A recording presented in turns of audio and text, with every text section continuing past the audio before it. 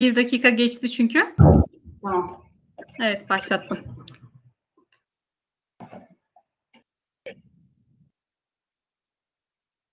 Evet sanırım e, yayına başladık.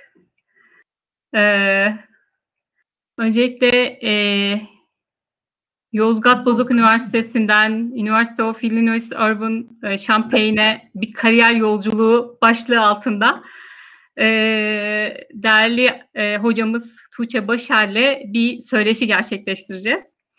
E, Amerika'da olmasından dolayı öncelikle bir zaman farkımız var. Hocamıza e, bu katılım e, saatini ayarlamasından dolayı teşekkür ediyoruz. E, zahmetler verdik ama e, üniversitemizin e, kariyer e, birimi vasıtasıyla özellikle öğrencilerimizin vizyonunu açmak ve e, e, kariyerlerinde kendilerine hedef koyabilecekleri güzel örneklerden birisi olduğunuz için ve bu kadar kısıtlı zaman diliminiz içerisinde bize zaman ayırarak e, katılım sağladığınız için çok teşekkür ediyoruz hocam.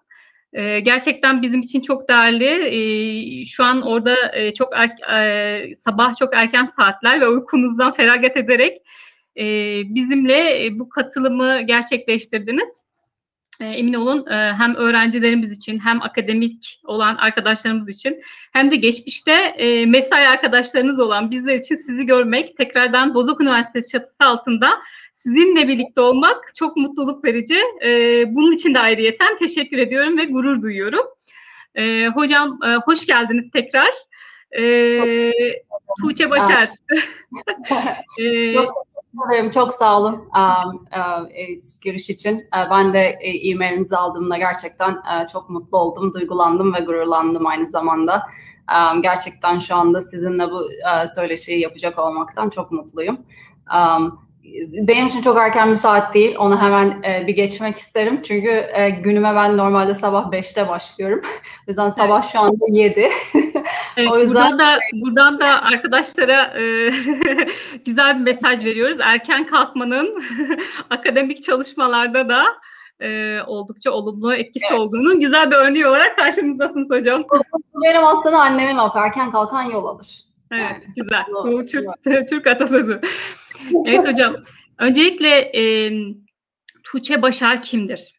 E, kısaca kendinizi tanımlar mısınız? Biz e, Tuğçe Başar'ın kim olduğunu bilmeyenler için, özellikle e, öğrencilerimiz için e, bu söyleşide e, sizi rol model alabilecekleri kişinin kim olduğunu e, sizin ağzınızdan dinlemek istiyoruz. Evet, şimdi bu sorunun cevabı aslında çok uzun. Tabii Tuğçe Başar kimdir'in cevabı sorusunun cevabı ama size çok kısa e, bir şekilde e, anlatmaya çalışacağım. E, ben Tarsus Mersin'de doğdum. Dünyaya geldim ve hayatımın tam anlamıyla yani tamı tamına yarısını 36 yaşındayım şu anda. 18 yaşına kadar Tarsus'ta yaşadım ve işte ilkokul, ortaokul ve lise eğitimimi orada gördükten sonra lisede e, biyolojiyle tanışmamın, lise yıllarımda biyolojiyle tanışmamın sonucu olarak Hacettepe Üniversitesi'nde iki sene bir biyoloji e, okum e, şey e, geçmişim var. Ondan sonra um, oradan çok e, memnun yani daha doğrusu hayal hayallerimin e, e, dream job olduğunu düşündüğüm şeyin sonrasında olmadığını e, fark edince e, sonrasında geri um, tekrardan üniversite sınavına girip Çukurova Üniversitesi Jeoloji Mühendisliği bölümünde e, eğitimime e, devam ettim. Orada dört sene okuduktan sonra e, güzel bir başarıyla okulumu bitirip daha sonra Bozok Üniversitesi Jeoloji Mühendisliği'nde e, araştırma görevlisi olarak işime başladım. E, master'ımı bitirdikten sonra da doktoramı e, yapmak için University of Colorado Boulder'a e, geldim. Daha sonra orada bir geçiş oldu. University of California San Diego'dan mezun olduktan sonra bir bir senelik de um, University of Alberta, Kanada'da uh, bir um, postdoktora çalışmam olduktan sonra şu andaki bulunduğum yere University of Illinois Urbana-Champaign'e Champaign'de asistan profesör olarak uh, inşaat mühendisliğinde işe başladım. Um, herhalde bu akademik e, hayatımın e, kısaca bir özeti. Tabii ki de e, um, çok böyle kronolojik olarak um, böyle oldu. Um, bunun dışında um, küçüklüğümden eğer e, bahsedecek olursam çok azıcık kısa bir şekilde. Çünkü o akademik geçmişimdi. Bir de tabii de Tuğçe Başar'ın bir geçmişi var. Bu da sosyal ve e, sosyal hayatının bir geçmişi evet, var. O, o da şimdi çok e, merak konusu e, ebeveynler için ya da e, şu an yetişkin e, adayı olan genç arkadaşlarımız için özellikle e, böyle hani su gibi anlattınız ama o su gibi geçmeyen uzun e, bir süre e, çocuk Tuğçe Başar ve şu anki bulunduğu konum e, oradan baktığında e, şu anki Tuğçe Başar'ı görüyor muydu? Onu onu mesela e, hep merak ederiz böyle bir başarıyı elde etmiş e, olan arkadaşlarımıza e, sormayı isteriz, sorarız e, Tuğçe Başar şu anki konumunu çocukken görüyor muydu? Hep çocuklara şey sorarız ya, e, ben de kendi çocuklarıma soruyorum işte, büyüyünce ne olacaksın? He, bu klasik sorudur ama büyük bir insana da hani çocukluğunda burayı görüyor muydun e, Tuğçe? evet, o aslında çok um, ilginç bir soru. Um, bendeki cevabı da yani bana göre ilginç tabii. Uh, siz kim, kimin nasıl algılayacağını tabii bilemem ama umarım ki um, şey farklı bir perspektif uh, vermiş olurum.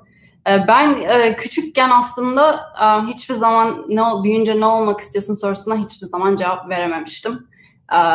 Ve hiçbir yani benim arkadaşlarım sürekli ve sınıfta özellikle öğretmenler bunu sorduğu zaman e, bütün duyduğunuz cevaplar doktor, mühendis, şey avukat bazen ki o zamanlar avukatlık çok popüler bile değildi galiba. E, herkes doktor ve mühendis olmak istiyordu. E, işte hep bilgisayar mühendisi olmak istiyorlardı. ama bana geldiğinde, ha kimisi öğretmen olmak istiyor ama bana geldiğinde her zaman ben bir yani cevabı cevabı yoktu bende. Ee, ama şöyle hani okuldan azıcık 2-3 yıl öncesine, e, ilkokuldan 2-3 yıl öncesine gidecek olursak herhalde e, ben 5 yaşında okula başladım. Kendi isteğimle, kimse beni zorla okula göndermedi. Elimden tutup sen bu, buraya gideceksin demedi. Fakat ben e, okumaya çok meraklıydım. Tabii bunda e, abimin ve ablamın okula gidiyor olmasının çok büyük bir etkisi var. Doğal olarak rol modeliniz varmış ama o da yani bir e, evet. etken rol. Yani bir 2-3 adım önde başlamış oluyorsunuz tabii hayata e, evet. sıfırda sürekli sabah erken köründe kalkıp işte hazırlanıp annesini işte o e, kapıdan öpüp okula giden iki tane çocuğu izliyordum ben çocukken açıkçası. Ondan sonra ben de hep onlara özeniyordum derken e, ben 5 yaşında zorla annemin ben elinden tutarak e, okula götürdüm onu ve kendimi okula yazdırdım. ve ben okula gittiğimde de zaten okuma yazmayı kendi kendime öğrenmiştim. Ee, yani kendi oturduğum evde çabalarımla değil ama tabii ki komşunun e, komşuları rahatsız ederek, komşuların evine giderek, çocuklarının o gün okulda ne yaptığını öğrenerek Yani o küçüklüğümden aslında böyle bir e, araştırmacı olacağım herhalde belli olmuş ama kimse onu fark etmemiş. Açıkçası ben de tabii ki de farkında değildim. Ben çünkü sadece öğrenmeyi çok seviyorum. Ve um, dediğim gibi hiçbir zaman ben de o büyüyünce ne olacaksın e, sorusunun cevabı lise yıllarıma kadar yoktu.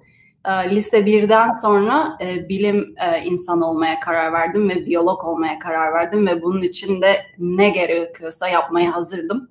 E, üniversite sınavına girdikten sonra da e, evde çok e, uzun süren kavga dövüşler sonucunda Hacettepe Biyoloji bölümüne giriş yaptım.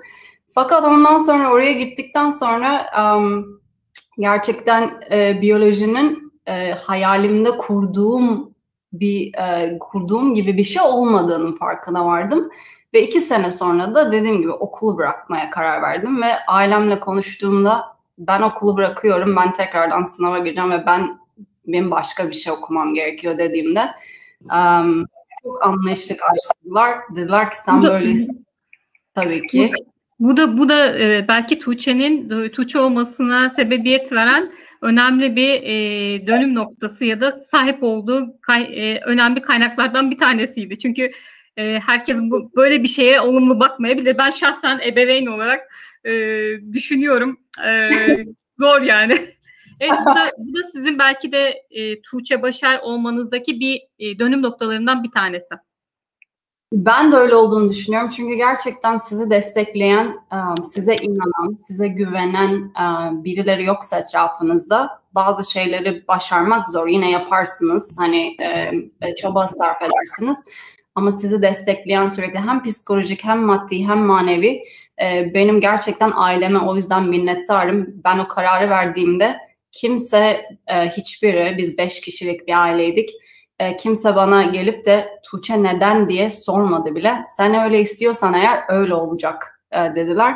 Dolayısıyla gerçekten e, sizi destekleyen bir aile ve arkadaş e, çevresi bence e, hayatınıza sahip olabileceğiniz en değerli şey e, bana evet. göre. Hocam e, benim e, sorularım çok ama ben e, şimdi araya girmek istiyorum. E, kusura bakmayın cümle şeye başlayınca böyle heyecandan sizi de uzun zamandır e, yoğunluğunuzdan dolayı görmediğimiz için e, hemen böyle bir sohbete başladık ama ben e, şimdi YouTube'dan takip eden arkadaşlara e, bir açıklama yapmak durumundayım. E, size olan e, gelecek soruları e, Yobu TV üzerinden e, soru cevap e, kısmına ya, e, yazarlarsa e, çok daha iyi olur çünkü YouTube'da e, sanırım e, aktif değil. E, Yobu, Yobu TV'de e, soru kısmına yazmaları gerekiyor. E, buradan e, ben e, sohbetimiz esnasında ya da sohbet bitiminde e, bütün sorulara cevaplamak üzere e, döneceğim o sorulara. E, bunu da açıkladıktan sonra e, sohbetimize devam edelim. Bu arada ben de şeyden bahsetmek istiyorum. Eğer e, olur da zamanımız kalmaz ve yine de sorular olursa lütfen bana onları sonradan gönderin. E, personal yani kişisel olarak cevap vermek isterim o e, sorulara da. Biz, biz de çok memnun oluruz. Özellikle öğrencilerimizden e, böyle talepler olacaktır. E, biz şimdi şu anda hani e, sizi e, jeoloji mühendisliği bölümü ya da mühendislik olarak değil bir akademik e, kariyer basamaklarını e, çıkmış e, ve güzel bir rol model olarak e, sohbet ediyoruz. Yani e, diğer disiplinlerden de çok e, arkadaşlarımız mutlaka dinliyordur ve hayalleri içerisinde e, sizin geçtiğiniz yollardan geçmeyi hayal edenler vardır. O nedenle ben de mesela lisans yıllarımda e, hayal ediyordum açıkçası. E, o nedenle e, mutlaka e, arkadaşlarımız arasında sizin e, yolunuzu takip etmek isteyenler, e, soruları olanlar olacaktır. E, siz de bu nazik e, e, tavrınızla onlara yardımcı olacağınızdan eminiz. Evet, memnun oldum. Ee, şimdi jeoloji mühendisliğine adım attınız. Ee, arkasından e, Tuğçe Başar Yozgat Bozok Üniversitesi'nde akademik e, hayatına başladı. E, burada yaklaşık olarak bir dört yıllık bir e, akademik geçmişiniz oldu. Hatta ilk akademik e, çalışmalarınız Yozgat'ta başlamış oldu. Üniversiteyi bitirdiniz. Başarılı bir e, öğrencilikten sonra ee, daha sonra burada bir eğitim hayatınız oldu. Birazcık oradan bahsedin. Arkasından e, disiplin değişikliğiniz oldu. Yani e, siz bir A, A mühendisliği bölümüne başlayıp B mühendisliği bölümünde akademik e, akademisyensiniz. Yani e, disiplinler arası çalışmanın da güzel bir örneğisiniz açıkçası. Çünkü e, şu an artık çağımız bunu gerektiriyor. Daha çok disiplinler arası çalışmayı gerektiriyor. E, bölümler bazlı değil ama konular bazlı e, ihtiyaçlarımıza yönelik bizim e, bunlara ihtiyacımız var.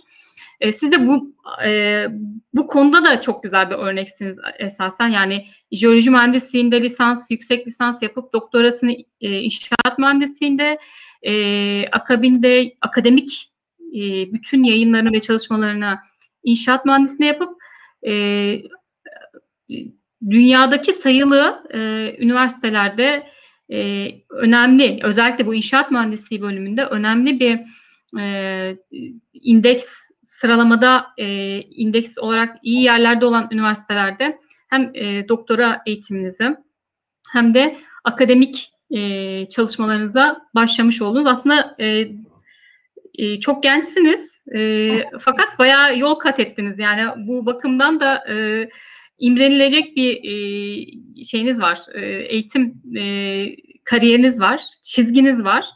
E, bunlar da mesela merak uyandırıcı. Birazcık da bunlardan bahsederseniz hani e, arkadaşlarımız için bu da e, disiplinere geçiş nasıl oluyor? İşte eğitim sistemi nasıl? Amerika e, bu konularda e, daha mı e, açık? E, Türkiye'de e, ki sistem onu Türkiye'de biliyorsunuz netice itibariyle yani uzun bir süre burada yaşadığınız için. E, bize birazcık bunlardan bahsedin. Şimdi bu, bu paragrafın içinde çok soru var. Şimdi evet. nereden başlayacağımı bir düşünüp oradan şey yapmayı isterseniz şey kronolojik olarak gidip o geçişi evet. anlatayım. Ve biraz da Amerika'daki eğitim sisteminden bahsedeyim. Ben Yozgat'ta Bozok Üniversitesi'nde e, araştırma görevlisi olduktan sonra tabii ki de oradan master'ıma e, başladım. E, oradaki e, danışman hocam e, bana e, benim e, master ve doktora çalışmalarımı kendi çalıştığı hocasıyla e, yapmayı yapmamı uygun gördü. Yani önerdi daha doğrusu. E, Ersin Kolay'a da buradan selamlarımı yolluyorum. Ondan sonra ve dolayısıyla Ankara Üniversitesi'nde herhalde hayatımın dönüm noktası olan bir toplantılardan birini yaptım Profesör Kamil Kayabalı'yla. O da eğitimini Amerika'da yapmıştı, master ve doktorasını. E, tabii um, ona, onunla tanıştıktan sonra e, gelecek planlarımı konuşurken tabii böyle dış, e, başka ülkeler görmüş, başka eğitim sistemlerine maruz kalmış insanlarla konuşmak her zaman çok um, e, Ufuk açıyor. Aynen öyle. E, dolayısıyla o, o her konuştuğunuzda başka şeyler öğreniyorsunuz. Her e, sohbetin sonunda başka bir tarafını öğreniyorsunuz. Tabii sizin kafanızda da şekillenmeye başlıyor ne yapmak istediğiniz. Ben her zaman dediğim gibi şeye Çukur Üniversitesi'nden mezun olurken çok akademisyen olmak istediğimi biliyordum ama nerede nasıl olacağı konusunda hiçbir fikrim yoktu. Ben sadece çalışmayı seviyordum. Sadece araştırma yapmayı, ders çalışmayı çok seviyordum. Ve dolayısıyla onun dışındaki her şey benim için şeydi, um, ekstra, ekstra de, de, detaydı yani. Hani sen çünkü ben şeyi öğrendim ve e, babamdan da hep şunu duydum. Sen çok çalış, sen e, gereğini yap, gerisi bir şekilde hallolur. E nasıl hallolacağı hep soru işareti ama o da herhalde hayat değil mi? Ona da hayat evet. diyoruz. Ee, daha sonra onunla tanıştıktan sonra e, işte gelecek planlarımız yaparken ben yurt dışına gitmek istediğimden bahsetmiştim. Onun da yardımlarıyla kısa süreliğine master'ımı yaparken University of Colorado Boulder'a e, gittim tezimle ilgili çalışmalar yapmaya. Oraya gittikten 3 aylığına bir YÖK bursu alıp gitmiştim. Bu YÖK bursu bu arada e, akademisyenlere e, verilen bir e, fırsat e, yüksek öğretim. Herkese de tavsiye ederim. Ha master'da ya da doktorada gerçekten bunu kullanmalarını. Çünkü ger- ya da sonrasında e, ya da sonrasında bizim çünkü öyle imkan imkanlarımız var. Üniversite akademisyenlerimizin hem TÜBİTAK hem YÖK vasıtasıyla e, bu konularda destek oluyor. Yani e, gittiğiniz yerin de aslında çok önemli. Tabii ki de hani e, çok iyi um, bilim yapan ülkelere, çok iyi bilim yapan okullara gitmek çok avantajlı ama herhalde o sınırları geçtiğiniz zaman bile size çok bambaşka bir e, şey veriyor, e, perspektif veriyor. Her neyse ondan sonra e, kısa süreliğine gittim ve bir ay sonra gittikten bir ay sonra orada beraber çalıştığım doktor danışmanım çalışmalarımdan memnun kaldığını ve onunla doktora yap, yapmak istemediğimi sordu. Dolayısıyla o e, e-maili aldığım e, zamanı e, çok iyi hatırlıyorum. İşte 10 saniye bile düşünmeden herhalde evet kabul ediyorum dedim. Ve sonrasında doktoruma University of Colorado'da başladım. Daha sonra bu, e, hoca... Bu invite'ı siz e, burs, burs, hocanın kendi bursunu alarak gittiniz değil mi hocam? Şimdi çünkü bu, bu, evet. bu hani o çok o çok daha önemli çünkü biz kendi imkanlarımızla gidiyoruz ya da e, işte ülkemizin kendi imkanlarıyla gidiyoruz falan. E, o kısmı da böyle detaylandırırsanız. Evet. Kısa süreliğine git yani kısa süreliğine geldiğiniz zaman hani e, ülke e, Türk e, Türkiye'den bir burs alıp geldiğiniz zaman size verilen e, parayı ya geri dönüp e, kendiniz çalışarak ödüyorsunuz ülkenize ya da e, size verilen parayı geri yatırıyorsunuz ve e, sonra da e, şey oluyorsunuz free oluyorsunuz. Ama e, ben oraya gittiğimde e, buradaki sistem şöyle. Türkiye'de aslında çok gerçekten çok e, güzel bir eğitim sistemimiz var. E, bunu hani e, ancak dışarıya gelen insanlar fark edebiliyor. Eğitim Türkiye'de e, par parasız ya da çok çok ciddi yani küçük bir para veriyorsunuz. Ama burada bir dok master doktora öğrencisinin e, şeyi e, harç parası ve aldığı maaş E, burada e, öğrenciler öğrenciler de maaşlı çalışıyor sonuçta. E, bunlar çok ciddi paralar. Bir doktora programı muhtemelen 250 bin dolara falan mal oluyor bir hocaya. Dolayısıyla biz burada projeler yazıp o projelerden nasıl siz TÜBİTAK yazıyorsanız biz de National Science Foundation gibi organizasyonlara, e, agencylere yazıp para alıp öyle öğrenci okutuyoruz. Benim hocamın da o zaman e, Savunma Bakanlığı'ndan bir tane projesi vardı. Bana ona onda çalışmam için teklif etmiş ve benim bütün doktora um, tabii ben o projeye başlayamadım ama daha sonra ısı transferiyle ilgili, jeotermalle ilgili bir e, projede e, doktoramı yaptım. E, onun da bütün e, doktora masraflarım e, yani o projeden burs olarak e, öyle bitirdim. Evet. Yani e, bir, birkaç tane dönüm noktasından yine başka bir dönüm noktasına geçerek e, üç aylık gittiğiniz Amerika e, kısa ziyaretinde e, yeni bir davet alıyorsunuz. E, hayatınızda bir şeylerden vazgeçip yeni yeni sayfalar açmak üzere e, yol yol alacaksınız ama e, ciddi kararlar vermeniz gerekiyor. Nelerden vazgeçtiniz? Neler sizi böyle e, tedirgin etti ya da e, e, şu anki Tuğçe Başar olabilmesi için vermiş olduğu o doğru kararı e, o zaman için e, nasıl verdiniz? Yani şimdi e, şöyle bir şey var. Sizi çok iyi tanıyan bir bilinmezlik var yani. Bir bilinmezliğe yol almışsınız o dönem içerisinde. Evet. Şimdi şöyle sizi çok iyi tanıyan biriyle biri sizle söyleşi yapınca aslında çok detaylı sorular sorulabiliyor böyle. kısaca bahsedecek olursam evet karar vermek hiç kolay değildi. O zaman işte e, yeğenlerim oluyordu. İşte benim bir ablam bir abim var. Dolayısıyla aile benim için çok önemli. O sırada karar verme aşamamda e, karar verme süresinde babamı babamı kaybettik. E, çok ciddi um, hem psikolojik hem de aile olarak çok e, kötü bir dönemden geçiyorduk. Ama herhalde e, hani kaderinizde varsa e, olur diye bir laf var ya herhalde ona inanıyorum ben.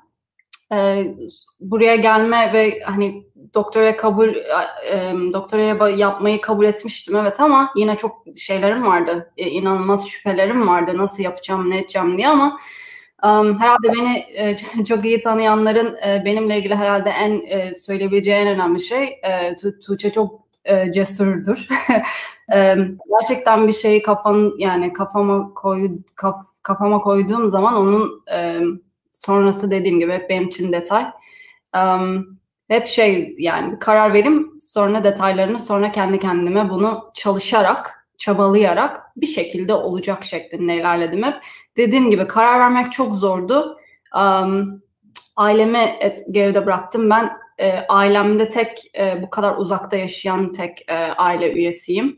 E, dolayısıyla e, onlar Türkiye'de, e, ben burada tabii zor oluyor. Sürekli seyahat ediyorum falan ama e, yine de e, bayağı zor bir karardı. En çok şey düşünmüştüm mesela. yeğenlerim beni tanımadan büyüyecek e, diye. E, dört tane yeğenim var. E, onlar mesela çok aklımdaydı. O kararı verirken en çok onları düşünmüştüm. Çok enteresan bir şekilde. Belki bunu ailem bile bilmiyordur. Şimdi o buradan izliyor. Ama hocam şimdi şöyle de bir durum var. Hayat hepimize çok farklı şeyler getiriyor. Ee, yani yeni jenerasyona da bu konuda da e, bir ışık tutmuş oldunuz. Yani hayatta her şey bizim için e, doğru gitmiyor. Hayatımızdan bazen sevdiklerimiz gidiyor, se yani e, malımız gidiyor, mülkümüz gidiyor vesaire. Ama yine de e, hayata tutunmak için hep bir nedenimiz var ve bunun için de güzel bir örneksiniz. Burada arkadaşlarımız, e, özellikle öğrenci arkadaşlarımız lütfen bu e, kısmı e, detaylı irdelesinler. Başarmak için e, bahaneler yani olumsuz bahaneler lütfen e, onların arkasına saklanmayalım. E, gördüğünüz gibi burada e, çok zorluklar içerisinde güzel bir çiçek açmış e, ve biz o çiçekle şu an e, sohbet ediyoruz. Hocam e, kişilik gelişim uzmanı e, Mümin Sekman şöyle diyor. başarının bedelini bir dönem için ödemeyenler başarısızlığın bedelini bir ömür boyu öderler. Tabii ki siz de bir takım başarı için ödediğiniz bedeller oldu. Yani şu ana gelebilmeniz için e, bazı sıkıntılar yaşadınız, e, olumsuzluklar oldu. E, fakat bunu e, şu anki Tuğçe yapan nedenlerdi. E, hem bilimsel olarak hem kişi, kişilik olarak. Birazcık bunlardan bahsedebilir misiniz?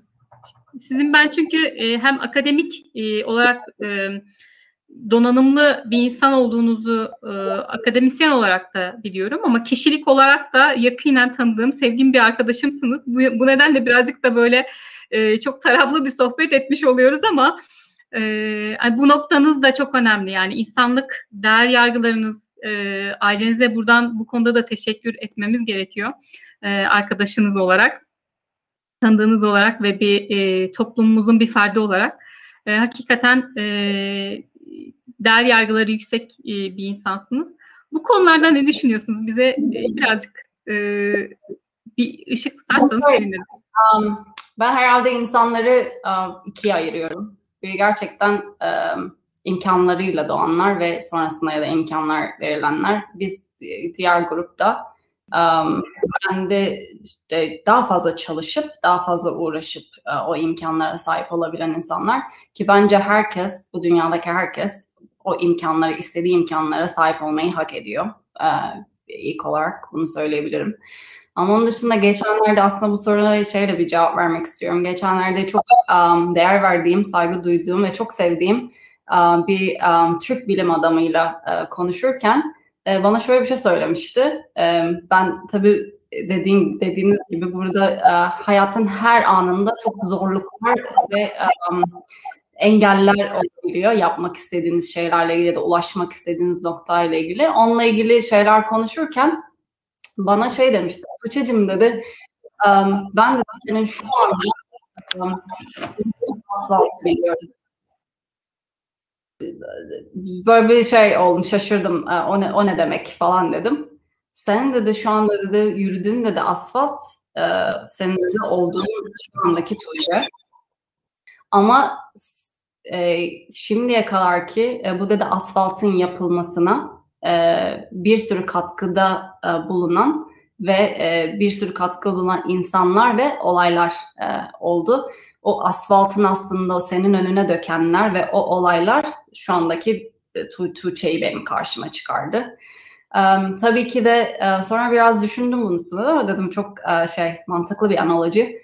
E, sonrasında evet. biraz düşününce dedim ki hani e, yürüdüğünüz asfalt ya da araba sürdüğünüz asfaltın şey olması lazım, güçlü olması gerekiyor değil mi? Güçlü olması evet. gerekiyor ve çukurların olmaması gerekiyor.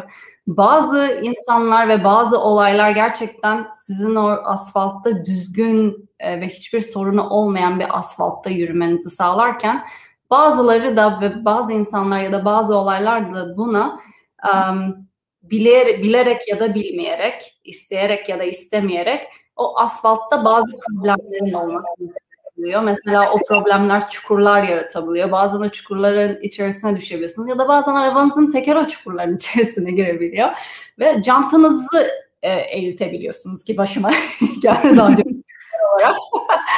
Ama um, o yüzden e, şöyle ben kendi e, background'ıma yani geçmişime baktığımda um, fark ettim ki gerçekten e, o asfaltın sağlam olmasını sağlayacak çok fazla insan girmiş hayatıma ve gerçekten bu konuda çok şanslı hissediyorum kendimi.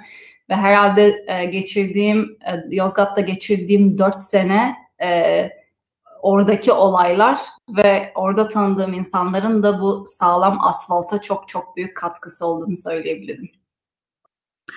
Ee, e, Tuğçe'cim, e, biz de seni gördüğümüz ve tanıdığımız için çok mutluyuz. Hakikaten e, hayatımızda olumlu ya da olumsuz e, birçok şey bizi biz yapıyor. Şu anki halimiz e, hep olumlu e, noktalardan e, ibaret değil. Olumsuz olaylar, olumlu olaylar birbirini bir sirkülasyon halinde e, bizi biz yapıyor ve bizim e, için önemli olan ve değerli kılan bunlardan ders çıkartıp e, değerli e, kendimizi değerli hissetmek e, ve o değer üzerinden yol kat etmek. Sen de bunu başardın. E, çok güzel. Tabii ben senin özgeçmişini yakinen bildiğim için bu noktadan hemen sizi şeye taşıyalım. Doktora dönemlerinize taşıyalım. Tuğçe e, Colorado'ya gitti. Oldukça soğuk bir memleket olan Yozgat'tan aynı soğuklukta bir Colorado maceran oldu. E, yaklaşık bir, bir buçuk yıl kadar sanırım doktoranın birkaç yılı e, Colorado'da e, devam ettin. Akabinde e, bir ülke değiş şey e, eyalet değişikliği gerçekleşti. E, bu eğitiminle alakalı bir eyalet değişikliğiydi. Hem de bu bu sorudan hemen şeye dönüyoruz. Amerika'daki eğitim sistemi nasıl? e, bunu bağlarsanız seviniriz. Hani Amerika'daki sistemi de bir şekilde anlamış olalım. Çünkü evet. sen buradan e, burslu bir şekilde e, hocanın m, kontrolünde gitmiş oldun e, ve akabinde Tuğçe neler yaşadı? Evet, şey um, aslında bu e, çok um, herkesin başına gelebilecek bir şey değil ama e, olan bir şey de e, doktorun ya da çalışmalarınızın yarısında okul değiştirmek. E, çünkü burada e, dediğim gibi işte projeler yazıyorsunuz. E, bu projeleri değişik organizasyonlara gönderiyorsunuz ve onlardan para istiyorsunuz ki öğrenci alabilirsiniz, öğrenci çalıştırabilirsiniz, öğrenci eğitebilirsiniz. Benim hocamın da aldığı proje işte e, TÜBİTAK'ın e, Amerika karşılığından işte National Science Foundation'dan almıştı ve dolayısıyla bu e, Amerika'da üniversiteler şeyden bağımsız olduğu için e, devletten bağımsız olduğu için her biri aslında kendi başına bir şey e, kurulmuş. Hiçbir birbirine bağlı ve kimse e, işte eyalet okulları eyalet eyaletin valisine cevap veriyor falan. Öyle bir merkezi bir sistem yok burada. Dolayısıyla aldığınız para tamamen sizin kontrolünüzde o projelerden gelen para ve um, benim hocam da o sıra um, kendi kişisel sebeplerinden dolayı uh, University of California San Diego'ya um, orada uh, bir iş uh, bulmuştu. Burada iş değiştirmek çok kolay, üniversiteler arası geçiş çok kolay. Sadece um, bir üniversitenin sizin expert expertiniz olduğu bir konudaki bir akademisyene ihtiyacı e, oluyor ve e, dolayısıyla bir iş ilanı çıkarıyorlar ve siz o işlere başvuruyorsunuz ve sizi beğeniyorlarsa istiyorlarsa alıyorlar. Yani futbolcu transferi gibi değil mi hocam? E, aynen. Futbol transferi gibi. Ne kadar, ne kadar başarılıysanız o kadar istek oluyor sizin için. Aynen. Herkes sizi almaya çalışıyor.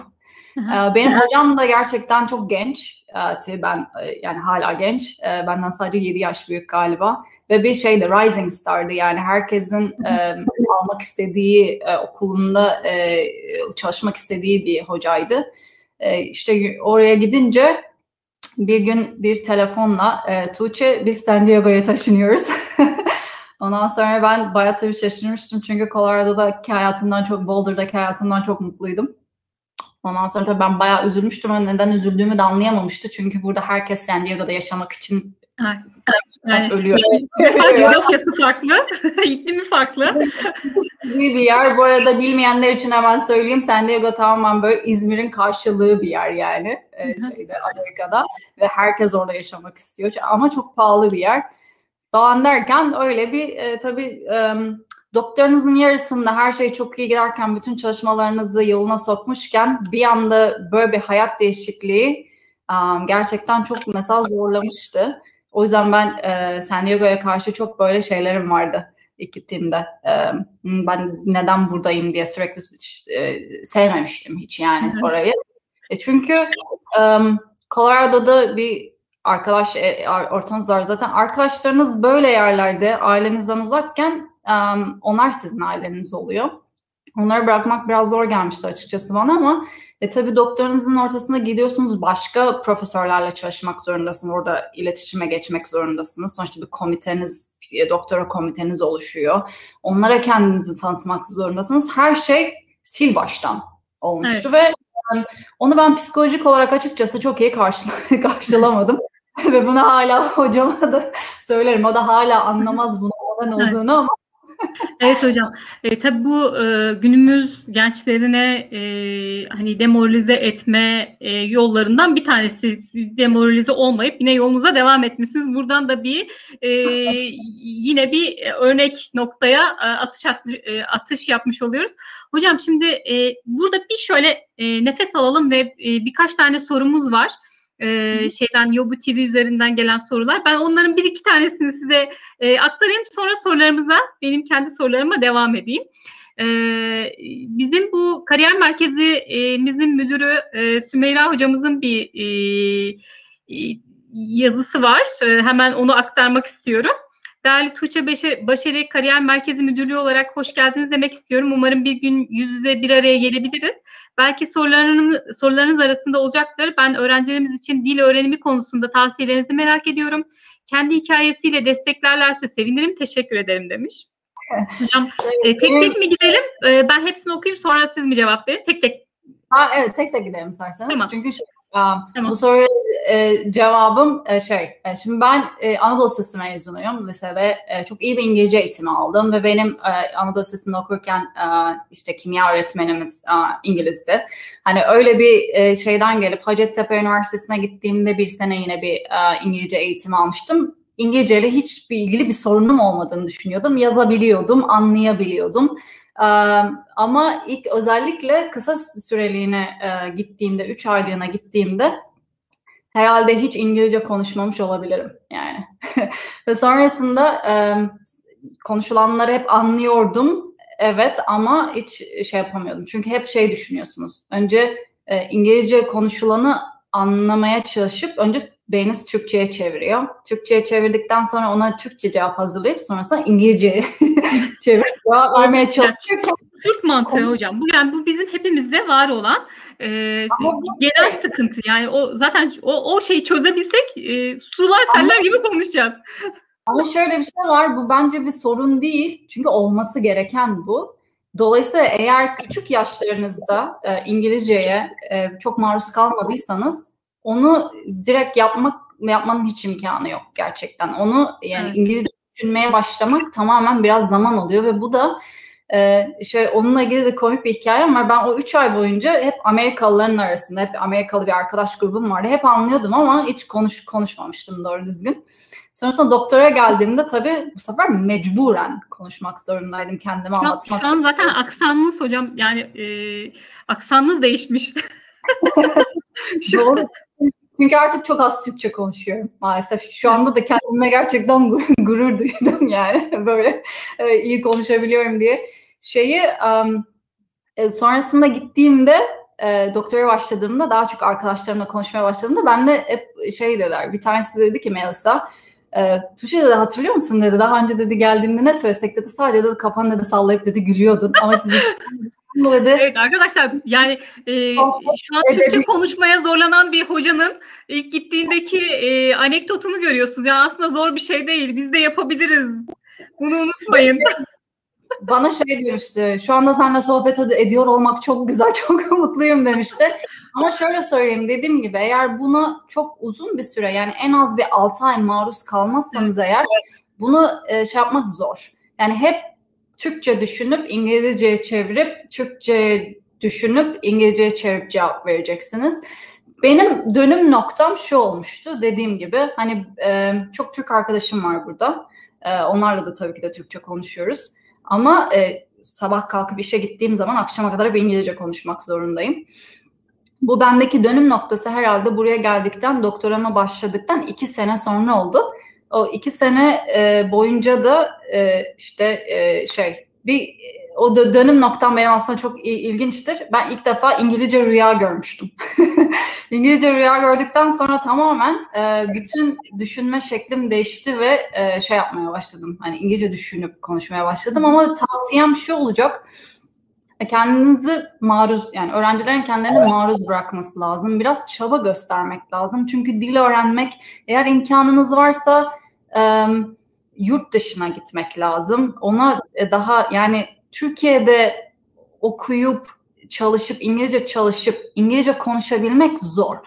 Ama eğer e, yazmayı öğrenebilirsiniz ki yazma bence yazmak da çok böyle şey e, powerful, e, çok güçlü bir e, yöntem.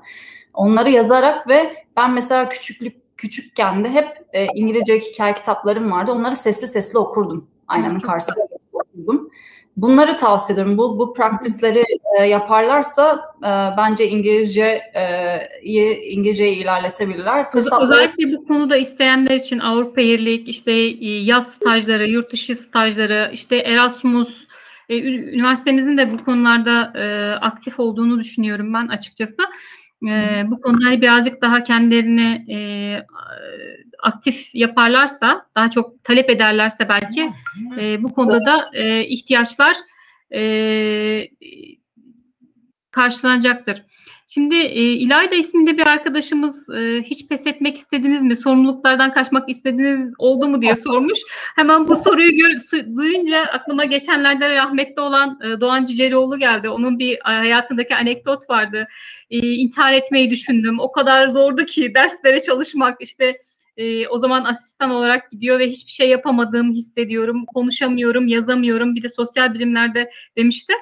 E, hemen o soru geldi aklıma. E, sizde de böyle bir şey oldu mu hocam? Oldu tabii ki. Yani tabii ki de oldu. Tabii ki ama e, şimdi e, şöyle e, dediğim gibi hiçbir şey e, güllük gülistanlık değil sonuçta değil mi? Hayatımızda her zaman e, kendimizi kötü hissettiğimiz ve uyandığımız zaman kendimizi evet Tuğçe bugün yataktan kalkman gerekiyor. Ee, gidip işte öncelikle bir git elini yüzünü yıka dediğimiz anlarımız her zaman hepimizin oluyor. Ve bu, bu dönemlerde de gerçekten tabii ki de pes et yani pes etmek istiyorsunuz ama herhalde e, bunun e, buna nasıl tepki verdiğiniz önemli. Yani bunları yaşarken, bunları hissederken kendinizi nasıl motive ettiğiniz ve buna nasıl bir cevap verdiğiniz önemli bu hislere. Çünkü bunu hepimiz hissediyoruz. Ve şunu da lütfen unutmayın ki ve ben her zaman kendime bunu söyledim. E, şimdi dedim pes etsem ne olur? Her zaman kendime bunu sordum. Şimdi pes etsem ne olur? Dünyanın sonu mu gelir? Hayır.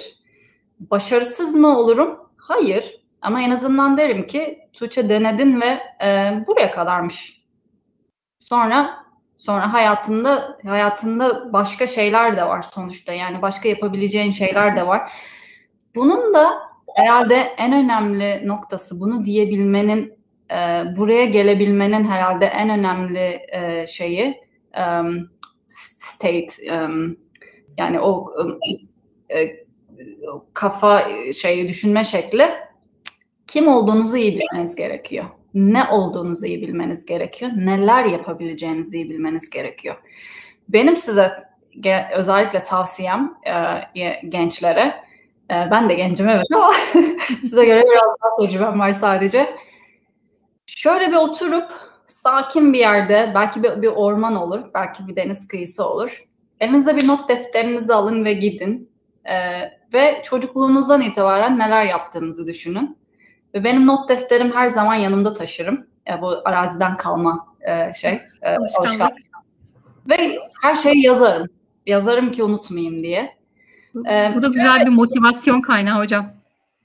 Şöyle bir geçmişiniz, geçmişinize bakın ve kendinize sorun kendinize önce bir kendinize dönün ve neler yapabileceğinizi dürüst bir şekilde yazın. Ee, nasıl bir e, kapasiteniz olduğunu, e, neleri iyi yapabildiğinizi ve neleri yapamadığınızı ve nelerin gelişme göstermesi gerektiğini. Böyle bir liste yapın ve şeye yapmak istediklerinizi ve realistik e, şeyler koyun kendinize. Realistik hedefler koyun. O realistik hedefler sizi yavaş yavaş bunları e, başarmanız size de motivasyon olacak ve sizi bir adım daha ötesine koyacak. Yani ben şu anda şurada oturup ben e, bir sonraki e, şeyde payload'da Ay'a giden insan olmak istiyorum mu? Onu gerçekleştiremeyeceğimi biliyorum. Belki ileride olacak bilmiyorum. Ama kendinize realistik hedefler koyun ve dediğim gibi herhalde önce bir kendinize dönün ee, insanın kendine dürüst olması gerçekten zor.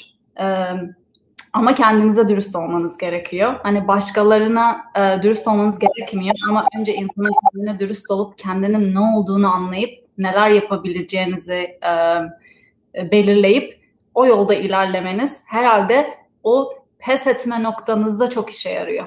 Evet. Pes Hocam e, yapabileceklerimizi kendimiz hayal e, ederken bazen aşağıdan da alabiliyoruz.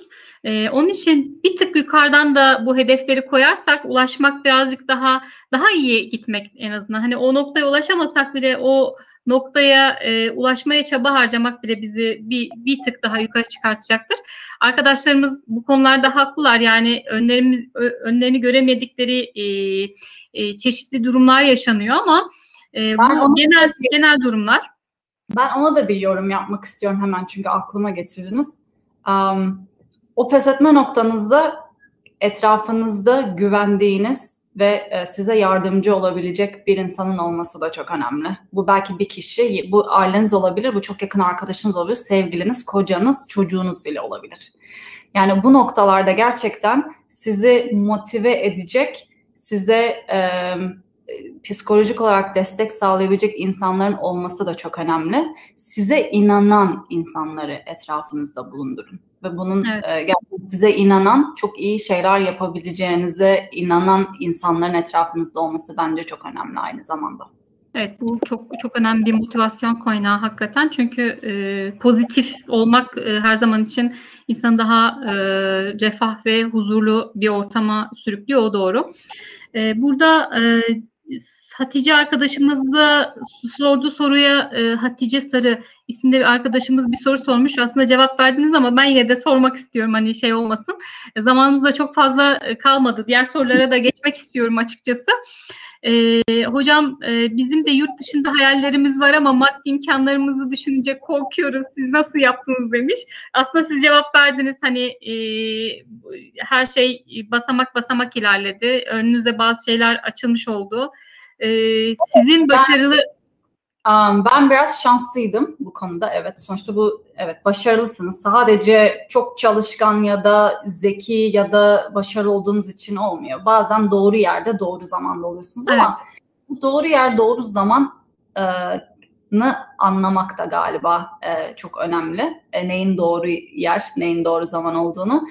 Şeye gelince, e, imkanlara gelince evet ben e, sonuçta yine şeye döneceğim, desteğe döneceğim, support yani etrafımda beni destekleyen insanlar olmasaydı, okulum eğer izin vermese, Bozok Üniversitesi hayır deseydi, gidemezsin 3 aylığına bile yurt dışına demeseydi, e, sonuçta ben belki burada olacak. Belki Gör, başka yer. Görünmeyecektin. Yani görünme fırsatın olmuş oldu yani. O yok sana bir burs verdi gittin. Ondan sonra onu karşılığını yani evet bunların hepsi e, bir şanstı e, Tuğçe Başar için. E, Tuğçe'cim ee, yine Can Aktaş isminde bir arkadaşımız Amerika'da ilk gittiğinizde kaçma isteğiniz oldu mu politik olmadan sadece şunu sormak istiyorum. İki ülkeyi karşılaştırdığımızda hangisini tercih ederdiniz ve neden demiş. yani bu e, bu, e, hani gençlik yıllarında hepimizin aklında olan sorular ama hani birazcık daha e, soft bir şekilde cevap verilebilir hocam.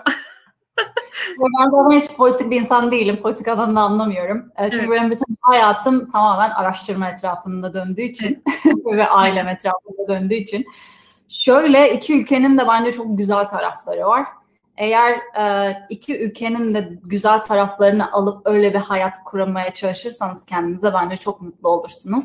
Evet buradayken Türkiye'yi çok özlüyorum, arkadaşlarımı özlüyorum, ailemi özlüyorum. E, ama Türkiye'ye geldiğim zaman da buradaki hayatımın rahatlığını bazen özlüyorum. E, ama e, dediğim gibi o tamamen e, hayatınızda kendiniz için ne istediğinizle alakalı biraz. Onu nasıl kuracağınız. Ee, kimimiz, kimisi mesela buraya gelip gerçekten aa iyi ki Türkiye'den gel buraya gelmişim bir daha dönmek istemiyorum istemiyorum diyor. Kimisi de hala 60-70 yaşına gelip e, Türkiye hala 30 senedir Türkiye'ye dönme hayalleri kuran insanları da tanıyorum. Bu evet. tamamen sizin bunu nasıl dengelediğinizle ve bununla nasıl başa çıktığınızla ve ne istediğinizle alakalı ve kendinize nasıl bir hayat kurmak istediğinizle alakalı galiba. Evet. Ee, şimdi birkaç tane daha sorumuz var ama onları birazcık daha arkaya alıp e, size sizinle ilgili sorular sormaya devam etmek istiyorum. Çünkü çok da zamanımız kalmadı gibi. E, şimdi e, Tuğçe Başar doktorasını e, bitirdi ve arkasından e, doktorası esnasında ve doktora sonrasında e, çeşitli burslar aldı. E, tabii bu burslar e, Tuğçe Başarı tercih edilebilirliklerinde de önemli rol oynadı. Bunlardan biraz bahseder misiniz? Evet, um, bazı bursları öğrenciyken aldım ve bazılarını da daha sonrasında aldım. Um, öğrenciyken aldığım burslar aslında gerçekten benim e, öğrenci olarak ve profesyonel olarak da gelişime çok katkıda bulundu. E, bunlar tamamen e, e, ben öğrenciyken e, öğrenci aktivitelerinde çok e, aktiftim mesela. E, UC San Diego'ya taşındığımız zaman orada mesela bizimle ilgili hiçbir öğrenci grubu yoktu. Burada e, üniversitelerde öğrenci grupları hem üniversite okurken hem de master doktoranızı yaparken aslında çok iyi faydalı e, şeyler, organizasyonlar. Ben orada iki tane, UC San Diego'da iki tane öğrenci grubu başlattım e, şeyler için. Hem e, üniversite öğrencileri hem de yüksek lisans öğrencileri için. Burada hemen bir parantez açayım hocam. Burada şeyden de bahsedebilirsiniz. Amerika'da sanırım eğitim sistemi içerisinde de bu tür etkinliklerin hem öğretici hem de e, öğrenen açısından önemli olduğu değil mi? Yani onları size tercih yani, benim Sizin tercih edilmenizdeki önemli e, şeylerden bir tanesiydi galiba o başlattığınız gruplar. Evet, ben mesela burada e, University of Illinois'daki e, iş arkadaşımla e, o bir öğrenciyken e, şey, organize ettiğim bir sempozyumda tanışmıştım ve e, tanıştıktan sonra bana şey dedi, Tuğçe dedi, e, biz dedi daha fazla konuşmamız lazım. Bana ne çalıştığımı, ne yaptığımı sordu ve bizim biraz daha konuşmamız gerekiyor seninle dedi. Bir sonrasında bir birkaç tane telefon konuşması yapmıştık açıkçası. Çünkü e, beni daha yakından tanımak istedi. E, University of Illinois'e um, ne kadar iyi bir um, fit olup olmayacağımı anlamaya çalıştı ne yani geriye dönecek olursak bu öğrenci aktivitelerinde yer almak gerçekten e, güzel bir şey. Çünkü sizin şeye e, sizi şeye e, maruz bırakıyor. Hem profesyonel hayata, e, profesyonel hayattaki o e, şirketlerde çalışan e, mühendislerle şey yapıyorsunuz, e, şeyler düzenliyorsunuz. Um, organizasyonlar düzenliyorsunuz. Sonra o insanları davet ediyorsunuz. Hocaları davet ediyorsunuz seminerler versin diye. O iş yerinden o e, şirketlerden insanları çağırıyorsunuz kendileri hakkında konuşsun diye. Dolayısıyla orada bir şey network. İnsanların sizi tanımasını sağlıyorsunuz. Siz onları tanıyorsunuz ve biraz da e, dediğim gibi iş hayatını daha fazla tanımaya başlıyorsunuz. Ve tabii böyle şeylerde bulunmak, aktivitelerde yer almak ve özellikle böyle şeyleri başlatmak sizin ne kadar iyi bir lider olduğunuzu da e, gösteriyor. Evet. Buradan, Galiba... buradan, buradan bizim öğrencilerimiz de inşallah kendilerine e, almaları gereken payı almışlardır. Yani bu tür aktivitelerin, etkinliklerin e, gerçekten ne kadar önemli olduğu konusunda. E, ve bursları alırken de e, sanırım bu bu tür etkinliklerin size e, katkısı oldu. Çünkü çok yani, güzel, e, çok çeşitli ülkelere gittiniz. Evet, ee, bir altı mesela Japonya'ya gitmiştim. Bir buçuk ay kadar kaldım Japonya'da. Um, çevreyle ilgili şeyler, araştırma yapmak için University of Kyoto'da.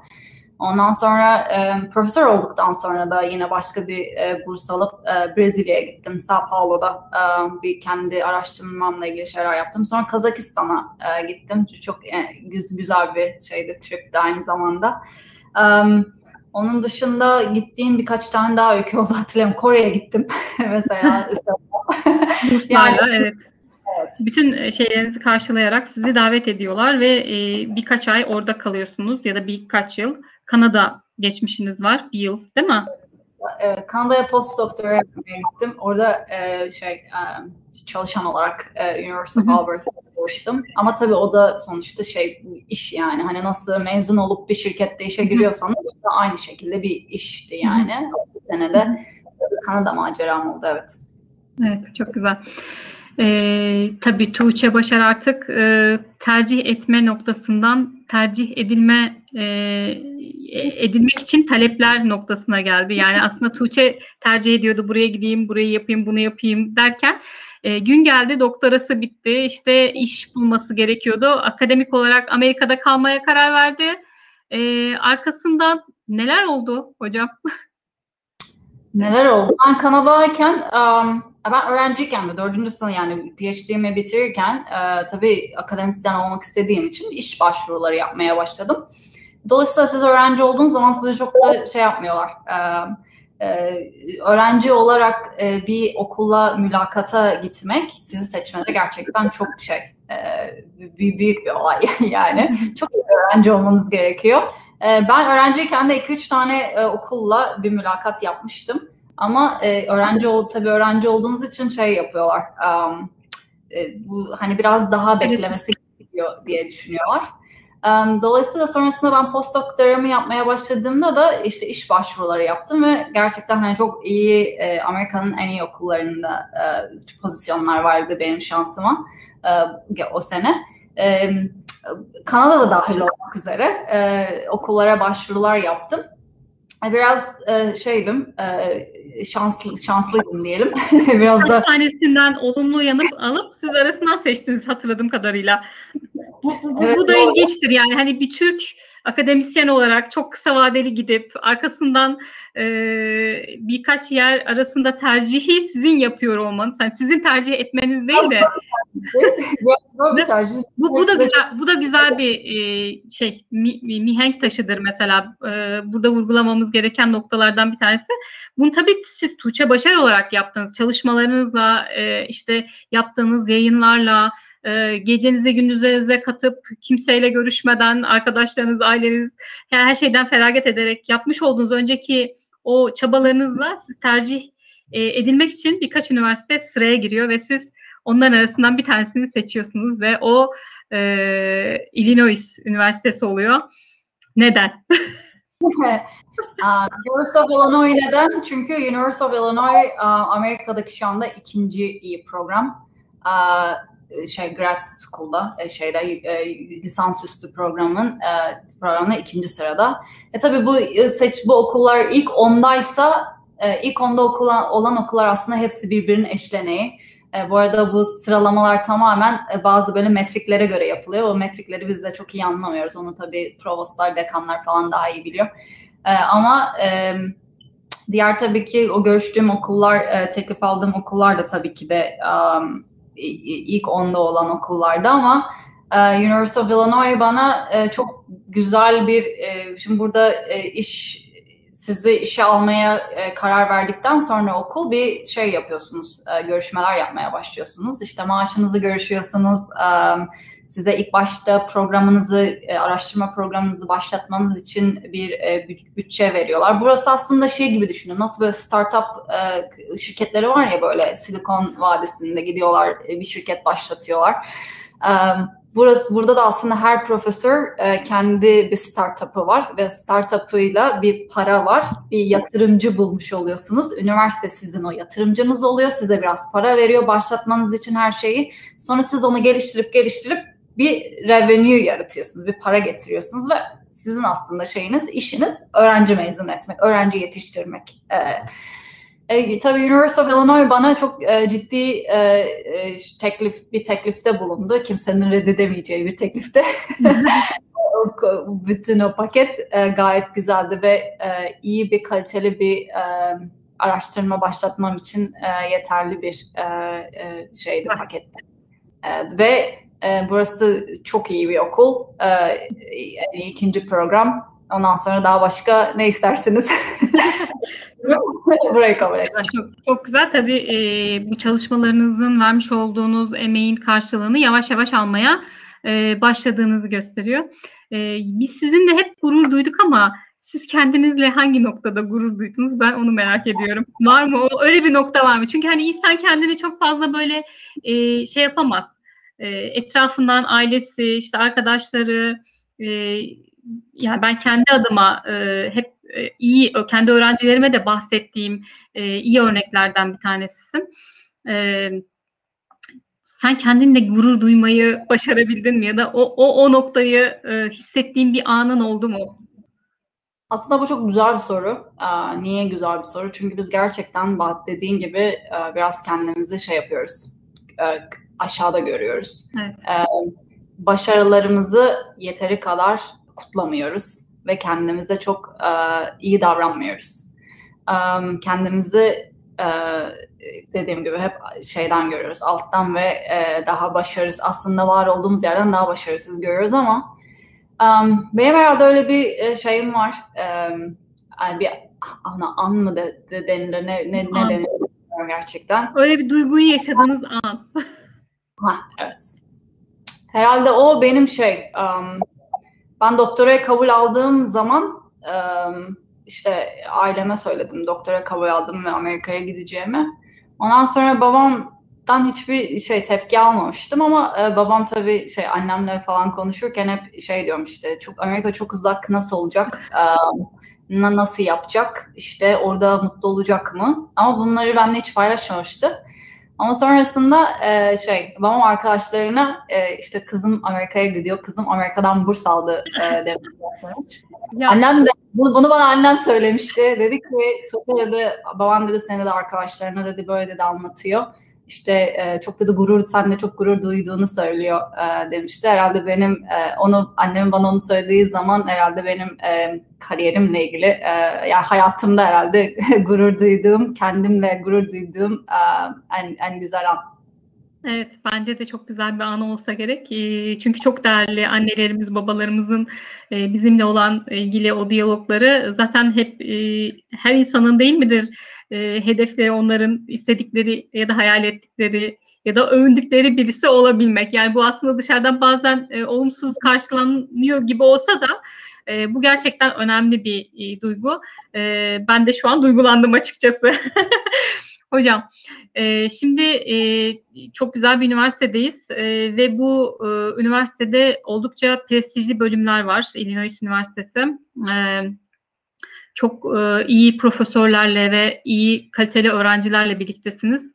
E, bunlarla nasıl çalışma imkanı buluyorsunuz? E, bu konuda bize birazcık e, bilgi aktarımında bulunursanız seviniriz. Yani burası gerçekten e, çok büyük bir üniversite ve çok e, güzel bölümleri olan bir üniversite ve çok kaliteli e, araştırmacıları olan, profesörleri olan bir üniversite. Ben biraz dediğim gibi kendimi şanslı hissediyorum. Şimdiye kadar kime kendi araştırmamla ilgili bir sorum olduğu zaman ve bir, bir şeylere ihtiyacım olduğu zaman mesela şu anda Savunma Bakanlığı'na 2-3 tane proje yapıyorum. Onun dışında NASA'ya, NASA ile çalışmaya başlıyorum yakın zamanda. dolayısıyla bu uzay mühendisliğiyle biraz çalışmaya gerektiriyor. Yani disiplinler çalışmanın e, ehemmiyetini tekrar vurguluyoruz hocam. Yani gerçekten e, özellikle yer bilimleriyle başlayıp inşaat mühendisliği ve uzay bilimlerine kadar gidişiniz e, burada birazcık hani daha e, açık düşünceyi gerektiriyor. Yani bir şeyde kısıtlı kalmamak. E, bu da çok güzel bir e, örnek bence. E, bizim de hani her her disiplinde bunu yapmamız gerekiyor. Disiplinler arası olursak zaten bu işi başaracağız yani. Buradan bunu tekrar bize göstermiş oluyorsunuz hocam. Şey, e, dolayısıyla hani bu insanlar işte makine mühendisliğindeki hocalara ya da uzay mühendisliğindeki Hı. hocalara şey e, malzeme mühendisliği, malzeme bilimindeki hocalara sık sık e-mail atıyorum. sık sık atıp e, benim böyle bir projem var ya da benim böyle bir sorum var buna cevap verebilir misiniz diye sorduğum zaman şeyler cevaplar çok güzel. Aynı anda cevaplar veriyorlar e, hemen şeyler telefon görüşmeleri ayarlıyorlar. Mesela benim e, e, o daha detaylı e, işin bilim ve mühendislik tarafını konuşabiliyoruz. E, işte, tamamen sizinle alakalı yani siz ne kadar ulaşmak isterseniz birilerine herkes size burada çok olumlu e, yaklaşıyor. Bir de ben şimdiye kadar üç tane ders, e, farklı üç tane farklı ders veriyorum bu okulda. E, bir tanesi üçüncü öğren, üniversite öğrencilerine geoteknik mühendisliği. E, bir diğeri derin temeller, bir diğeri de jeoenerji sistemleri.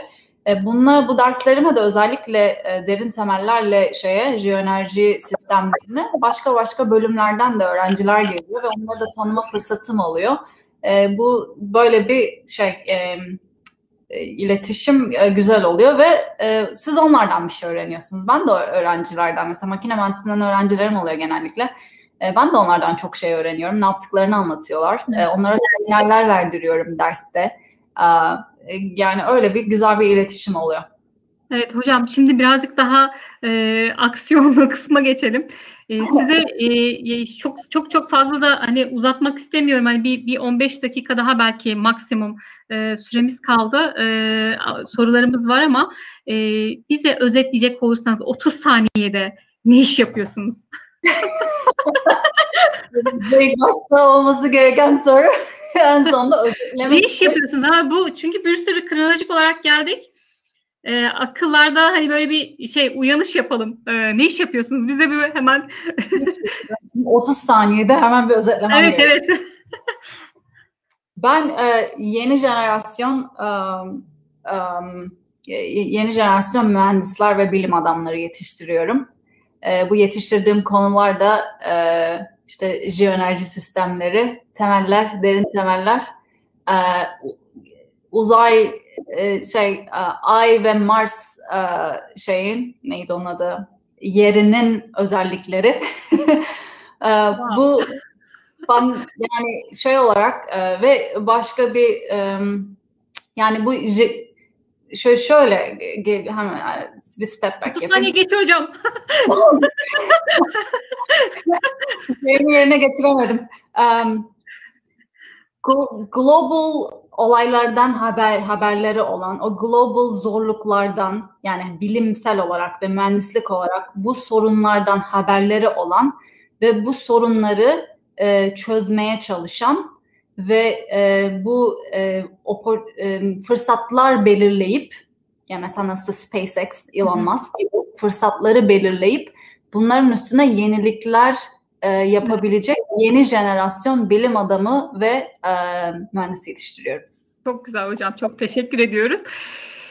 Ben hemen bizim e, jeoloji mühendisliği bölümü yıllarına sizi davet ediyor ve e, hayal e, bizim aklımızda e, böyle topuklarını sert sert e, vurarak koridordan geçtiğiniz günlere ve o sert topukların e, o günkü yediğiniz Nutella miktarına bağlı olduğunu hatırladığımız günlere dönmek istiyorum. E, siz e, biz sizi Nutella ile hatırlıyoruz e, sert topuklu e, koridorda gidişinizi. Siz bizi e, ya da Yozgat'ı e, ilk aklınıza gelen ne yani Yozgat ya da e, işte bizim bölüm olarak diyelim e, ama Yozgat da olabilir genel olarak aklınıza ilk ne geliyor? Yozgat Bozok Üniversitesi evet, deyince. Birkaç şey geliyor açıkçası sadece bir şey gelmiyor. Bu gelenlerden biri belki şey um, ilk geldiğim zaman ben Yozgat'a um, bir iş arkadaşımın düğününe davet edilmiştim. Hiç hiç tanımadığım birini. Ondan sonra beni davet ettiler. Dediler ki böyle işte e, Esra'nın düğünü var. Ondan Esra sonra... Ünal Çakır hocamızın düğününe. Ondan sonra ben de ge- beni davet ettiler. İyi tamam geleyim o zaman dedi. Çünkü benim iş arkadaşım olacak. İyi tamam dedim. Daha önce Esra herhalde sadece bir kere sadece bir merhaba hoş geldin Sonra beni düğünde gördü. Düğünde biraz tan- tanıdı açıkçası.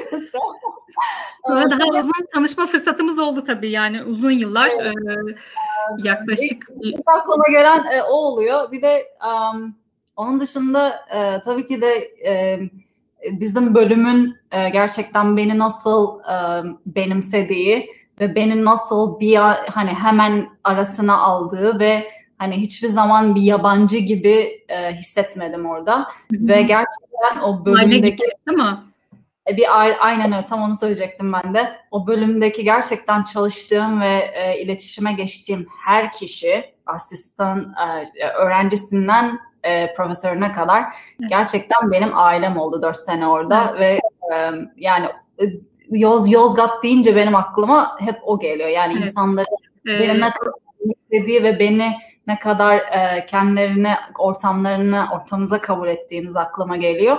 E, evet. Ve benim herhalde Yozgat dört sene e, hayatımın gerçekten e, hayatıma çok çok şey katan yıllar. e, hocalarımızdan bir tanesi, e, dekan hocalardan bir tanesi e, şöyle bir soru sorar. Tuğçe güzel oynadı mı? Düğünde güzel oynadı mı diye sorar hocam. Ay evet, zorla kaldırıp oynattıklarını hatırlıyorum hocam. Evet, evet.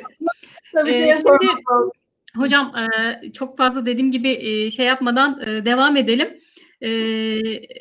Şimdi Amerika'da öğrenci olmak, akademisyen olmak, bütün bunlardan bahsettik.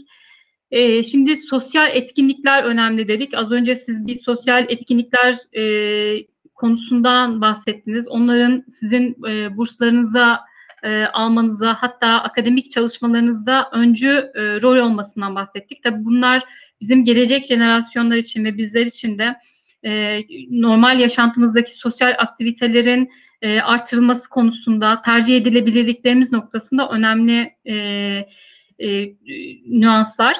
E, muhtemelen Amerika Birleşik Devletleri'ndeki bu eğitim sisteminin artıları belki e, bizde de uygulanması gereken çünkü öğrenciler daha sosyal olması gerekiyor e, hem akademik olarak hem e, kişisel olarak yapmış oldukları sosyal etkinliklerle bunların faydalarından bahsettik sizinle. E, Esra hocamız size Esra Ünal Çakır hocamız şöyle bir soru sormuş hocam e, Amerika'daki yüksek lisans doktora eğitimlerinin e, nasıl olacağı öğrencilerimize bir yol, yol haritası noktasında e, bize bilgi verirler mi demiş. E, akabinde e, Gökçen hocamız, e, Sağlık Bilimleri Fakültesi Dekan Yardımcımız, Gökçen Aydın e, Akbo hocamız e, size selamlarını iletmiş, e, sevgilerini iletmiş. E, yakın arkadaşlarımızdı tabii ki. İyi arkadaşım. Evet, ev, ev arkadaşınız. Ee, bunun dışında Burak Pehlivanlı hocama şöyle bir soru sormak istiyorum. Avrupa'da akademisyenlik ile Türkiye'de yapılan akademisyenlik arasında tabii ki büyük fark olabilir kendileri için en büyük fark ne olduğunu düşünüyor Amerika'daki demek istedi sanırım. Ee, en büyük fark ne? Yani Amerika'daki bir akademisyenle Türkiye'deki akademisyen ikisinde tadına vardınız hocam. Belki bundan birazcık bahsedebilirsiniz. Mücahit Meral hocamız e, pandemi koşullarında motivasyon kaynaklarınız neler diye sormuş. Bu, bu konuda ben de e, büyük bir handikap e, sahibiyim. Hakikaten nasıl geçti, neler yapıyorsunuz, nasıl, motivasyon sağlanıyor? Ya bunlar önemli nüanslar çünkü yaklaşık bir buçuk iki yıldır böyle bir girdabın içerisindeyiz. Re- Recep Şahin Göz hocamız yürütücüsü olduğunuz projeleriniz var mı? Yakın gelecekte planlarınız neler? Ve benim aslında en son sorum dönmeyi düşünüyor musun Tuğçe? evet şimdi hepsinin hangisinden başlayayım cevap verin bilemedim ama kısa kısa zamanımız var evet, mı? Evet kısa kısa olduğu için ben hemen e, hocalarımızın da e, şey gönülleri kalmasın hepsinden e, ufak ufak bahsetmek istedim. E, bize ufak ufak e, önce e, Amerika'daki yüksek lisans doktora eğitiminden bahsedebilirsiniz hocam. Evet. Ee, Avrupa'daki ve e, Amerika'daki ve Türkiye'deki akademisyenlik arasındaki farkı hani ufacık da olsa bir oradan e, giriş yaparsanız devam evet. ederiz. Um, önce farktan bahsedeyim ondan sonra Amerika'da eğitim sistemin nasıl olduğu şeyleri söyleyeyim. Uh, Türkiye, Avrupa, Amerika. Avrupa bilimi yapan Avrupa. Yani science denen şeyi yapan gerçekten o belirli ülkeler var. Onlar daha çok e, bilimsel alanlarda daha şeyler. Amerika mühendislik de çok daha iyi bana göre. Ve Türk Türkiye'de e, çok iyi mühendis yetiştiriyor.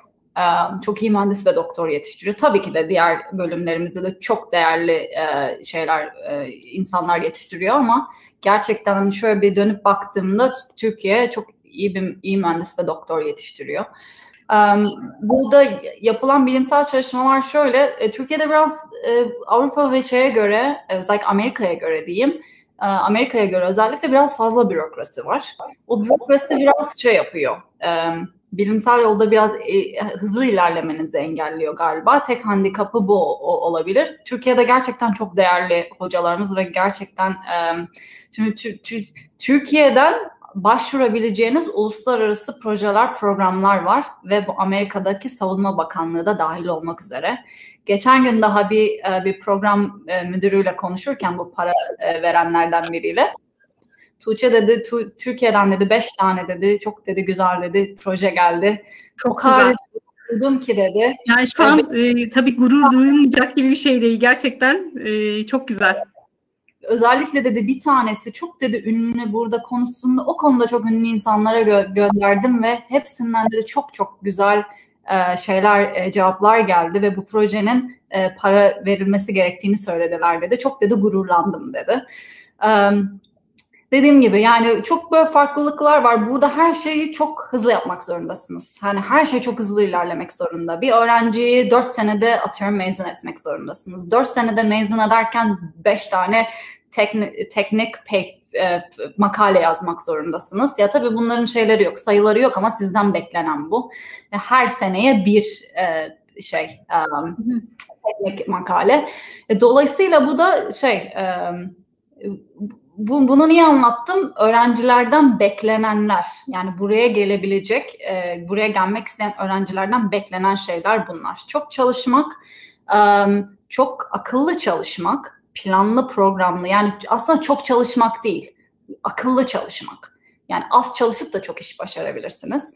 E, bu Amerika'da bunu yapmazsanız eğer işler hep birbirine giriyor. Bütün işleriniz birbirine karışıyor. Dolayısıyla takip edemiyorsunuz neyi ne zaman nasıl yapacağınızı. Dolayısıyla dediğim gibi çok böyle bir bilim burada biraz daha hızlı ilerliyor. Diğer Avrupa'ya göre de daha hızlı ilerliyor. Evet. Aynen. Öğrencilerimize tavsiyem de şöyle, git, e, yurt dışında e, çalışma yapmak isteyenlere Etrafınızda eğer e, tanıdığınız birileri varsa yardım almaktan çekinmeyin. E, bu bana yardım eder mi diye düşünmeyin. Siz isteyin. Yardım etmezse o, o insanın gerçekten e, sorunu. E, eğer yine bilgi almak istiyorsanız çünkü yani bilmiyor olabilirsiniz. Bilmemek e, e, ayıp değil, öğrenmemek ayıp gerçekten. Türkiye'de böyle bulduğunuz benim gibi bulabileceğiniz e, pardon Amerika'da ya da Avrupa'da benim gibi bulacağınız bir sürü Türk hoca var böyle. Onlara yazabilirsiniz. Ben şimdiye kadar yazılan hiçbir e-mail'e cevapsız bırakmadım. Ee, ne zaman... Böyle ekleyebiliriz hocam mailinize hemen. Öğrenci arkadaşlarımız bu YouTube evet. kanalının altına nasıl oluyorsa e, şeyden e, ekletelim. E, ne zaman, size. Evet, ne zaman e-mail geldiyse hep cevap verdim, hep yardımcı olmaya çalıştım. Ben yardım edemediysem bile yardım edecek birine yönlendirdim. Dolayısıyla böyle insanlar var hiç şey düşünmeyin. Ben bana e-mail atsam acaba bana cevap verir mi? Ama e-mail atarken de biraz da düşünün ne istediğinizi açık açık yazarsanız eğer güzel olur. Onun dışında e, araştırın. Elin hepinizin elinde şey var. E, smartphone var.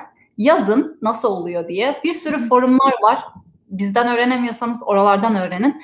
Ve dediğim gibi yardım isteyin. Ee, yardım isteyin. Bir kişi yardım etmezse ikinci kişi, üçüncü kişi mutlaka yardım edecektir. Size anlatacak. Bu da ben de dahil olmak üzere. Evet. Onun dışında pandemiye gelince, pandemi evet hepimiz için gerçekten çok zor oldu. Um, bana bu soru daha önce söyle, soru sorulmuştu başka bir söyleşide Tuğçe pandemiyle nasıl ya, şey yaptın diye. Um, açıkçası e, çok e, şimdi çok büyük bir şehirde yaşamadığımız için biz e, üniversite biraz daha küçük bir şehirde olduğu için biraz burada ortam biraz daha rahat. E, ama onun dışında tabii online ders vermek bayağı e, şey oldu. Çünkü öğrencileri şey yapamıyorsunuz. E, şeyde tutamıyorsunuz. Öğrencilerin sürekli din, dinletemiyorsunuz. Aynen. Ben bu dönem şeyde veriyorum. E, sınıfta ders veriyorum. Çünkü çok e, grad level öğrettiğim için çok fazla öğrenci yok. Ama onun için bile şey um, Mesela bilgisayarımı götürüyorum, koca ekranda öğrenciler görüyor. Sonra Zoom'u açıyorum. Beni bizim sınıflar record ediyor. Ondan sonra bir online platforma koyuyor. Bir sürü bir sürü yerden bunları mesela şey yapmak, e, navigate etmek gerçekten ayarlamak çok zor oldu. Çok teknik teknik sorunlar yaşadım. Onlar sizi gerçekten çok şey yapıyor. Um, sinir bozucu ve o anda e, ders verme şeyinizi, motivasyonunuzu düşürüyor. O anda kendinizi tekrardan bir şeyle kendi kendinize Tuğçe hadi daha 20 dakika dersi vereceksin demek zorunda sürekli kendinize onu hatırlatıyorsunuz. Tabii öğrencilerim üstünde de çok e, benim e, şu anda dört tane doktor öğrencim var pardon e, üç tane doktor öğrencim bir tane master öğrencim var. Onlara da bayağı zor oldu. Okula gelemediler şeyden deney yapmaları gerekiyordu. Ama deneylerini yapamadıkları için onlara başka şeyler vermek zorunda kaldım. Ama başardık şu anda burada işler iyiye gidiyor. Biz normale dönmeye başladık. Biraz biliyorum Türkiye'de maalesef durumlar biraz daha kötü ama projelerime gelince e, şu anda 3 3 4 4 tane aktif projem var. E, evet, bir, çok güzel projeler hocam. Onlar da e, şimdi Amerika'da da bildiğim kadarıyla e, kendi vatandaşlarına birazcık daha öncelikli olma ihtimali olabiliyor ya da e, hani yabancı e, bir araştırmacı olarak bunun zorluklarını yaşadınız mı? Mesela bu da soru işareti. Böyle, um, yabancı olarak yazım yani herhalde en büyük problem yazmak. Çünkü Hı-hı. 15 sayfa bir proje yazmak zorundasınız ve bu 15 sayfanın her cümlesi birbiriyle bağlantılı olmak zorunda ve gerçekten böyle daha önce kimsenin üstünde çalışmamış olduğu bir sorunu çözmeye çalışmak zorundasınız. Bir komiteyi ikna etmek zorundasınız. Evet. Bu problemin ne kadar önemli olduğuna dair. Ya şöyle yani Amerikalılara önce çok verilmiyor e, bazı yerlerde. Hani bazı organizasyonlar evet eğer özellikle Savunma Bakanlığı'na. Evet. Eğer, Mesela sizin Savunma Bakanlığı'ndan bir projeniz var hocam. Evet. İki tane var Savunma evet. Bakanlığı'nda. Ama o da şeyde hava kuvvetlerinden var iki tane. Ee, onlar şey e, neydi onun adı? Şey olmazsanız ya green card'ınızın olması gerekiyor ya da vatandaş olmanız gerekiyor oralardan para alabilmeniz için maalesef birçok programın için. Hani öyle olmayıp alabileceğiniz yer şeyler de var. Ama bir Enerji Bakanlığı'ndan bir projem var. Onda öyle bir kısıtlama yok. Ama Enerji Bakanlığı'nın yani bütün projelerim benim için çok e, değerli şu anda ama özellikle e, Enerji Bakanlığı'ndan aldığım projem galiba benim için e, en şey olan, e, beni e, gururlandıran çünkü ilk yazdığım ilk yazdığım ve ilk e, şey olan para aldığım proje. O da e, kısaca hemen bahsedeyim. Burada var olan e, şey e, petrol kuyuları çünkü Illinois'da özellikle güney e, eyaletlerinde çok fazla şey var. E, petrol kuyuları var ve şu anda üretim yapmayan petrol ve şey gaz kuyuları. E, onları e, kullanıp e, çünkü terk edilmiş kuyular bunlar. Bunları jeotermal gelişimi için, e, gelişmek için e, bir çalışma yapıyoruz. Nasıl bunları rehabilite edebiliriz bu kuyuları? E, buna nasıl bir teknoloji getirebiliriz? Neler yapmamız gerekiyor? O, onu e, çalışıyoruz. E, Savunma Bakanlığı'ndan olan projelerin biraz daha böyle şey, e, bilim daha mühendislik değil de daha böyle bilimsel e, projeler açıkçası. Çıktılar Onlar gelecek. Yani e, çıktıları çok çabuk dönüşü olacak projeler anladığım kadarıyla. Aslında yok. Bu Savunma Bakanlığı tam olarak öyle. Yani Savunma Bakanlığı'na şey veriyorsunuz. E, çok temel şeyleri veriyorsunuz. On ne yapacaklarını onlar karar veriyor hmm. o temel şeylerle. Anladım. Siz onlarla ilgilenmiyorsunuz. Onların ne yapacaklarıyla siz, sizin işiniz yok. Sadece diyor ki bana şu alanda e, işte şey programlar var ve her programın da bir açıklaması var o açıklamanın içerisindeki e, şeye göre, içeriğe göre projelerinizi yazıyorsunuz ve o ne yapacakları onları ilgilendiriyor. Ona karışmıyorsunuz. Evet, evet Tuğçe Hocam. cevap verebildim şeylere ama cevap Yok. veremedim olduysa Yok, lütfen. Çok, bütün sorularınıza güzel, çok güzel cevaplar verdiniz. Hakikaten e, ben acaba zamanımızı doldurabilir miyiz diye endişeleniyordum ama çok akıcı bir e, toplantı oldu. Ben yani ben dışarıdan nasıl dinleniyor bilmiyorum ama ben çok zevk aldım. E, yaklaşık bir 81 dakikayı geçti, 82. dakikaya geliyoruz. Evet. Hocam, e, öncelikle kıymetli zamanınızı ayırdığınız için gerçekten e, e, çok fazla zamanınız olmadığını ben de biliyorum. E, çok teşekkür ediyorum. Ee, özellikle e, kariyer merkezi müdür yardımcımız Hasan Bey de buradan yazmış. E, size teşekkürlerini iletiyor. Başarılarınızın tamam. devamını diliyor. E, katılımınız için e, hem müdürümüz e, Sümeyra Hanım hem de Hasan Bey e, buradan e, size teşekkürlerini e, ilettiler. E, tabii daha sonra sizinle e, yüzde e, online olarak başka platformlarda görüşme e, fırsatı olur şeklinde yazılar yazmışlar. Ben bunlar için teşekkür ediyorum ama e, benim kendi kişisel e, kanaatim e, ve teşekkürümü de ayrı iletmek istiyorum. Ee, özellikle e, birazcık daha e, senin e, hani birkaç yıl daha bir e, kendini e, orada iyi hissetme adına orada kalmanı destekliyorum ama e, sonuç itibariyle ülkemize geri dönüp e, bize e, bize de e, yol açacak belki e, bir ışık tutacak bir akademisyen olarak burada devam etmeni arzu ediyorum. bir arkadaşın olarak belki bir akademisyen dostu olarak. İnşallah yani hani Bozok Üniversitesi çatısı altında tekrar buluştuk. Hani bu güzel bir buluşmaydı. E, neresi olursa olsun fark etmez ama e, inşallah e, bu benim kendi kişisel kanaatim ya da temennim diyeyim. E, biliyorsun. E, çok teşekkür ediyorum. E, umarım herkes benim kadar zevk almıştır. Ben gerçekten çok mutlu oldum. Katılımını e, işte e, so, umut ediyorum e, herkesin sorularına cevap verebildik. E, İsmail Akdeniz hocamız e, buradan teşekkür mesajları göndermiş gayet keyifli şeklinde. E, umarım e, herkes için aynı şekilde olmuştur. Ben e, gerçekten e, hem zamanınız hem e, enerjinizi çünkü sabahın erken saatinde kalktınız bize e, saat farkımızdan dolayı e, emek harcadınız. E, teşekkür evet. ediyorum Bozok Üniversitesi, Yozgat Bozok Üniversitesi ailesi olarak. Tekrardan çok teşekkür ediyorum. Görüşmek dileğiyle.